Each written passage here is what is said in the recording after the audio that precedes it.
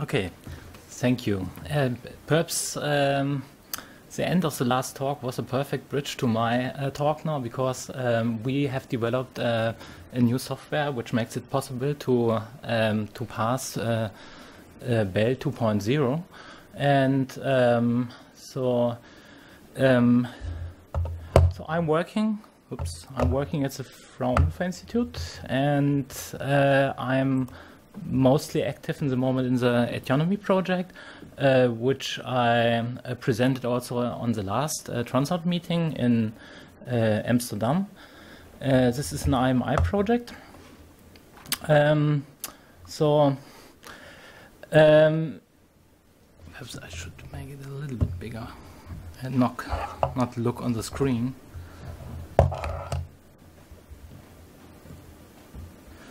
Okay, here's an, uh, an advertising text of our software. So PyBEL is a Python software package developed by the Department of Bioinformatics uh, at Fraunhofer SCAI uh, that parses BEL statements, validates uh, their semantics, uh, applies common graph algorithms, and allows uh, for data interchange with common formats like Neo4j, JSON, CSV, Excel, and SQL. Um, so um, PyBEL uses ne uh, NetworkX uh, objects in the background. Um, NetworkX is a software package for the creation, manipulation, and study of structures, dynamics, and functions of complex networks, and perfectly fits uh, requirements to uh, develop complex, sophisticated algorithms for uh, biomedical graphs. Our uh, software provides a simple API so bioinformaticians and scientists with limited uh, programming uh, knowledge can uh, easily use this uh, to uh, interface with BEL graphs, but it builds on a rich framework that can be extended to develop new algorithms. Later I will mention some of the libraries we have are inside our um, uh, our PyBEL software. So this is an uh, old picture from the um, tranSMART conference in uh, in Amsterdam. So um, so we are since some days uh, are online on uh, on GitHub on Read the Docs, and um, I think I've already opened it. So uh, we have also some comments on uh, our design decisions and uh, so why we are not using RDF and uh, so and yeah just read it make comments and write us what you think about it. So okay um, so we so our software is um, Python 2.7 and 3.5 compatible.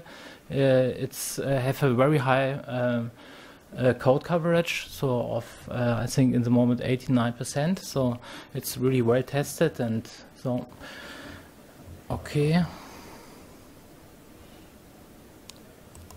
So and we are also on GitHub, and um, I will. Um, um, I will publish also my notebook uh, here in the on this, um, but the software you find here uh, in PyBEL. Uh, in the moment, we are also developing um, a PyBEL visualization software, which allows um, better visualization of um, of BEL frame of BEL graphs. Okay, back to the notebook. So. Um, so shortly about me. So I'm living in Cologne, the the city of Carnival, and we call it the, the, fifth season. So it's really a crazy time. So if you have the chance to come to Cologne, then you should come at the at the Carnival. So um, so before I I switched to uh, the Fraunhofer Institute, I worked at different institutes. Uh, uh, I started as a as a biologist uh, in, in, the molecul molecular genetics. Uh, then I worked for a while at the Max Planck Institute for Experimental Medicine and uh, in the Department of Neurochemistry at the University of uh, Frankfurt. And uh, for a while, I also in the industry, uh, was responsible for a database uh, for the microarray chip design. And um, yeah, for a long time, I was the main developer of the brand, the BRENDA database. This is a um, enzyme database for uh, yeah for, for enzyme information. Um, and since 2008, um, I'm working as a scientist in the data mining group at the Department of Bioinformatics, Fraunhofer Institute. So uh, about Fraunhofer, so uh, so Fraunhofer is a tri tribute to uh, Joseph Ritter von Fraun Fraunhofer. Um, he was a German uh, optician. Um, uh, so Fraunhofer founded in 1949, uh, now uh, 67 years ago. Uh, it's the lar largest European application-oriented research organization with more than 23,000 people and uh, with a research budget of uh, uh, about um, one, 2.1 billion euro. Uh, about uh, our department of bioinformatics. So, uh, Professor Dr. Martin Hofmann-Apitius, as Keith already mentioned, is the, is the, head of our department, my boss. And our research fields are uh, neuromodeling, so where we are using BEL and uh, information and knowledge extraction uh, and text and big data analysis and several others, but takes too long to Okay, so um, perhaps I skip a little bit uh, all these uh, parts because we have already heard a lot, lot on this always the, the old boring stuff. So we have a lot of data. So we have to, yeah, um, we have to there's no possibility to read all these publications. So if you make a search, you find uh, hundreds, millions of, of hits in, in several databases, and yeah, you need a, a system where you where you store uh, your knowledge. And um, so I think later, now it's already here. So uh, I've had um, a header called biology. Uh, a very big directed and dynamic graph, not a table. So um, and dynamic, I think what we learned uh, also at the first day here in the keynote, uh, so that is, um, um, so that a, um, the nodes in the network are very dynamic and uh, you will not always have uh, the, the, same relationships as you expected. Um, okay. I skip this a little bit.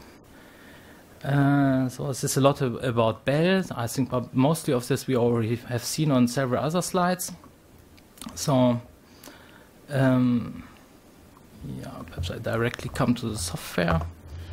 That's better.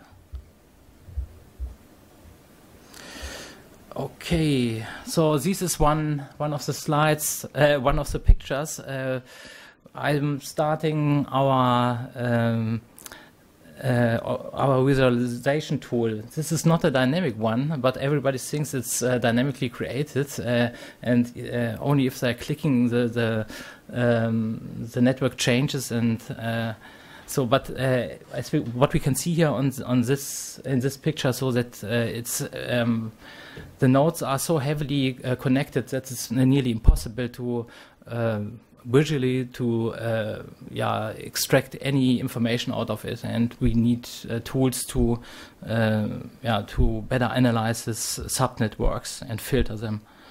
So um, here is a uh, state of the art um, of um, BEL uh, Ruby and the OpenBEL framework. That's what we heard also in the last talk. So um, so we had also um, problems to uh, run the scripts, and uh, we want to make it a, in comparison to, to our software, how fast we are, and so on, and uh, yeah, test it against our uh, uh, results, but it was not possible. So, okay. Um, So we tested uh, also with the OpenBEL framework how long, how long it took uh, with a small uh, corpus and with a uh, large corpus, and perhaps uh, this was a, a, problem with our configurations. could be again. So.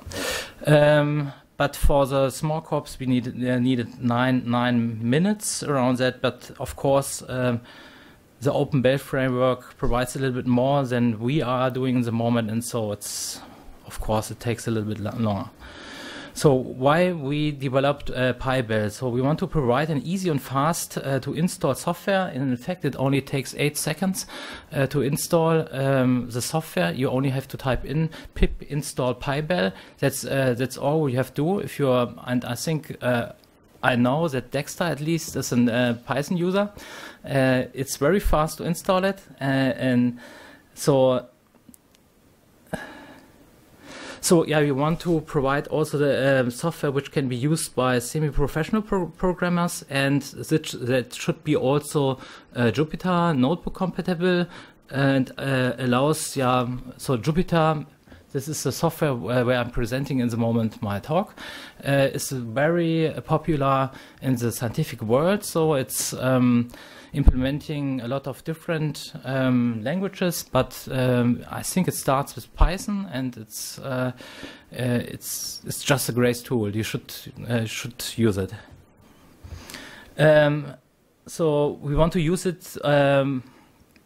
Uh, our software also in combination with other data and uh, community established tools uh, like pandas or scikit-learn uh, thousand other other tools are available. Um, and we want to be as independent and as flexible to fit our user uh, requirements. Uh, ah, and uh, we want to make use out of uh, already established and well-developed um, um, graph algorithms like uh, NetworkX provided to us. Okay. Here we see now the list for uh, for PyBEL. So um, the performance is really good, and uh, thanks to Charlie and uh, Andre, they did a great job. They really improved the speed a lot, and we, I think uh, even this is now wrong because with the cached namespace and uh, annotation, it uh, took I think 18 seconds to to pass the small corpus and five minutes the large corpus. Okay, but uh, perhaps the most uh, important thing also for uh, industry is that we are uh, Apache 2.0 and uh, yeah, that's yeah, and of course uh, PyBEL 2.0 and um, that there are a lot of different export formats available. So also the possibility to export it to Cytoscape. So, um, so main features I already uh, mentioned. This is we are open source, so we are on different platforms um, online, uh, easy to install. Uh, most functions are on the top level of the package. Uh, it's very good documented and uh, extensible API users can there integrate their own algorithms with their own data. We have a caching system for namespaces and annotations. We are supporting several databases um, because under the hood we are using SQLAlchemy, so which is a database layer to a lot of different databases uh, like Postgres, MySQL, Oracle, uh, Microsoft S uh, SQL Server, SQLite, Firebird, and Sybase. Um, okay, later in the moment we are only using it for namespaces and annotations, but later we will also uh, use it for uh, storing your results out of the analysis um, uh, into the system.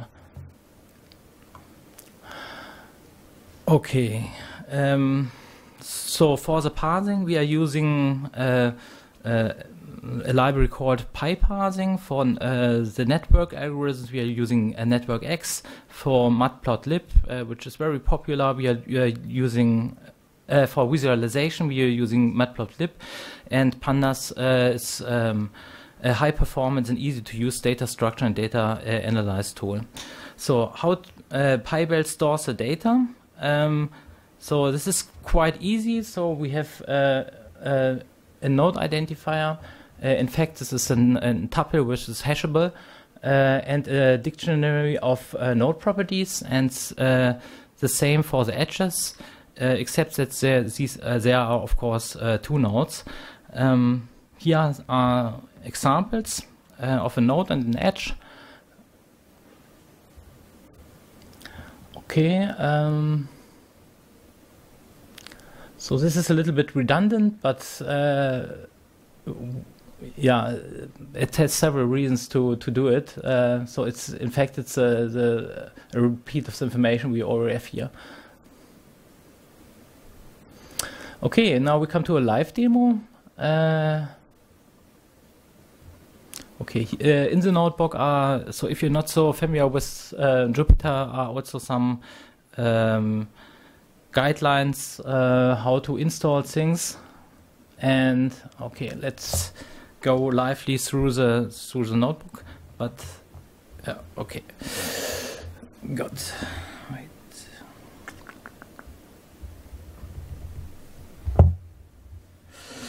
Okay.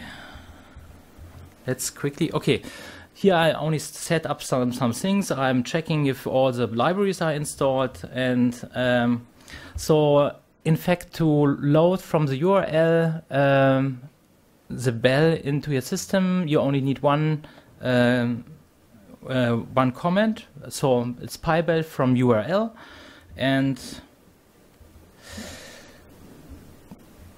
so here it's backup, but perhaps I should um, I should rerun the whole thing.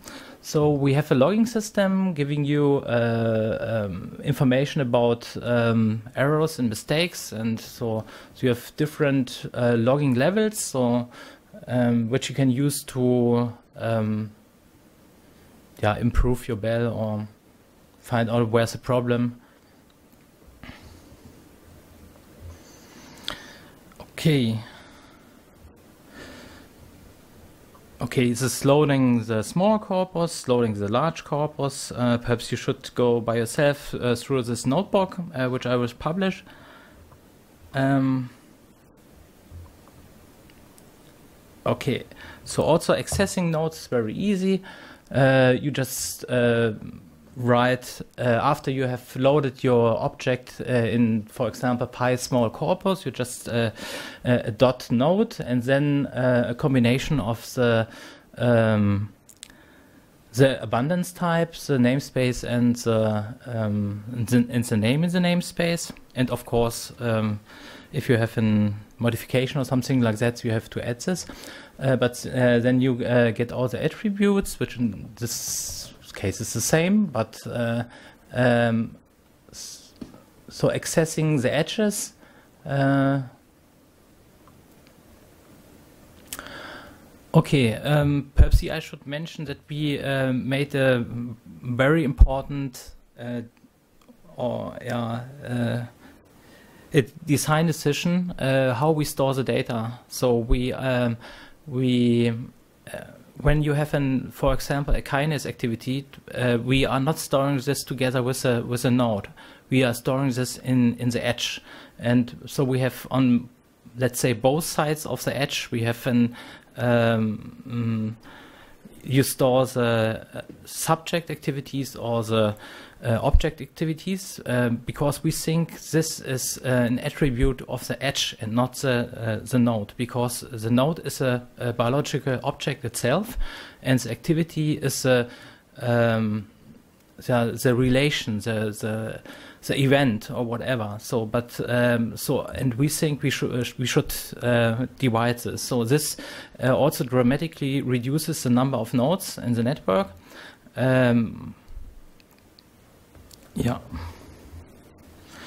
Okay, uh, here are some examples. Um, how in some lines of code you can make simple analyses like how many uh, so the, the distribution of uh, functions in my network but perhaps the most are keen on I think on the visualization tools we starting now to develop and um, so already with NetworkX you can have nice visualization tools um,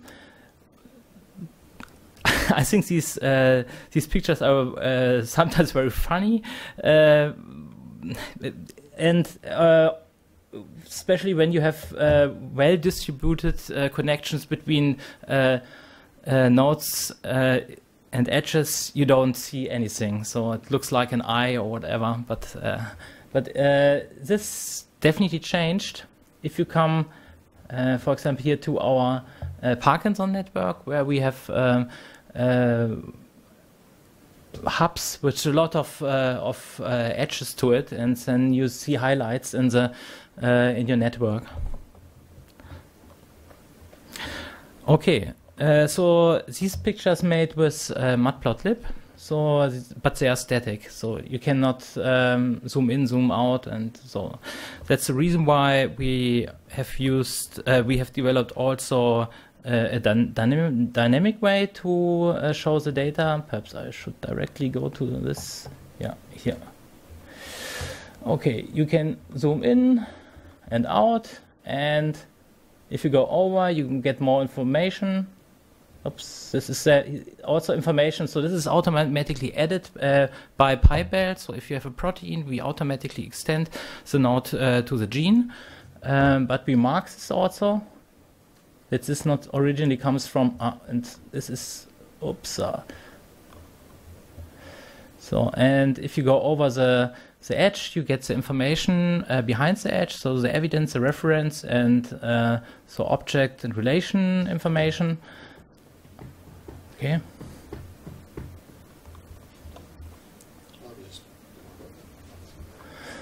Okay, Yeah, yeah, I can. Uh, wait. What this is? Uh, sorry. That's just increases. Yeah, yeah.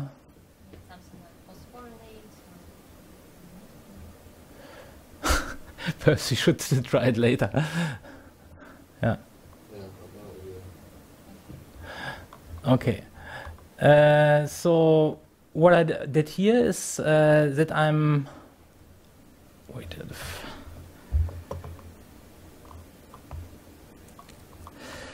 Ah, this was an uh, so a, a, use case. I, I, I used uh, tranSMART data from differential expression analysis results and overlaid uh, to our Parkinson uh, net. And I want to show uh, in this part of my uh, notebook how easy it is to to reach in some lines of code and analyze your data. Yeah. Uh, so um, he here, for example, I'm just loading the um, the, um, the, result file from uh, tranSMART uh, into a uh, pandas uh, data frame, and I filter for um, Bonferroni values uh, below 0.05. And um, here is the head of the, this table. Um, then I overlay uh, all the um, identified genes to our Parkinson network. And uh, as you can see, this is a little bit disappointing. So there are only, uh, in fact, only four uh, genes identified. Um, of, no, no, sorry, five. Um, so what in the next step I'm uh, searching all the shortest passes between these uh, nodes uh, in our network, which is really in, in milliseconds we uh, find this. And uh, then I extend this network. So um, and uh, in our online version um, on the server we uh, all the um, edit nodes are in gray so that, that you can distinguish between the original identified and which ones was uh, autonomously added by the shortest path algorithm. Okay. Um, Yeah. Can you zoom in on the, um, there's a couple of edges there that are doubled. Yeah. Ah, okay. This is Are they, are those truly doubled? or are they- some sometimes it's uh, it's uh, it's association because uh, association we need in both directions because this is a it's a multi-directed graph. Uh, we uh, so to to calculate uh, shortest passes we uh, have to um, make the uh, the edge also in the other direction. And of course, uh, if there are two um, um, yeah evidences for that, and there could be also one and more, uh, uh, more than one. But mostly these are associations or uh, positive regulations. But this could be, for example, I don't see it. So this is raw BEL, but you, and you haven't built a KAM of this. You, you, you, the, the, the fact that there's only one edge between nodes except for the associations is an artifact of having it be a, a lean BEL file. But if I had a BEL file that had fifty, uh, supports for a given relationship, I'd have fifty edges. Yeah. Um, so perhaps it's a, a visualization problem. We should perhaps show this uh, edges uh, in a thicker way, or um, so. Um, yeah, so this is uh, it's it's hot development. So I I, I finished this uh, last night at two o'clock. So uh, okay, okay. Then uh, okay, yeah, a lot of different other algorithms like betweenness, centrality, and so on, uh, which are easily to use uh, and analyze your your network. Um, but I think I'm running a little bit out of time, and I should come to the end. But all this will be available on GitHub. Da, da, da. And so, ah, okay, export fu- functions perhaps are uh, interesting for you. So, uh, Neo4j and uh, NetworkX fits perfectly together. So they are they are uh, both following the same ideas. So, and uh, in fact, we first started with, Neo, with Neo4j and then we switched to Network X. Um, um, but Neo4j has this great language, this Cypher language, uh, with this, uh, which is very similar to SQL, and um, and we, we, we tested a lot uh, Neo4j, but in for some questions, uh, of, for some queries, it was very slow, and uh, so then we decided to go back to network NetworkX, and this was a good decision. And we can easily, uh, yeah, switch between both of these. Okay, and uh, so we have. So here's a screenshot, and we of course we have uh, we have or not let's say of course, but we have also an an export uh, to Cytoscape. So here's an uh, command line um, execution of the program uh, with an error report, and here you can see uh, how it sh- uh, shows if you load it in the in the system. So Okay. It's actually an export to GraphML. Hmm? Yeah. So okay, the take-home message is, uh, is it's easy, it's flexible, it's fast. So use it and give us feedback. So um, everything is online only uh, since some days, and so um, um, we want to support you. We are interested in co- collaborations. So um, contact me, uh, and I want to uh, thank especially uh, Andre and Charles, um, uh, which mainly developed the software. Um, so with uh, of course months of discussions before, but uh, so this uh, the hot development was in um, in the last months, uh, and uh, yeah, and we are very happy that we are online since one week or two weeks. Great, thank you. Okay.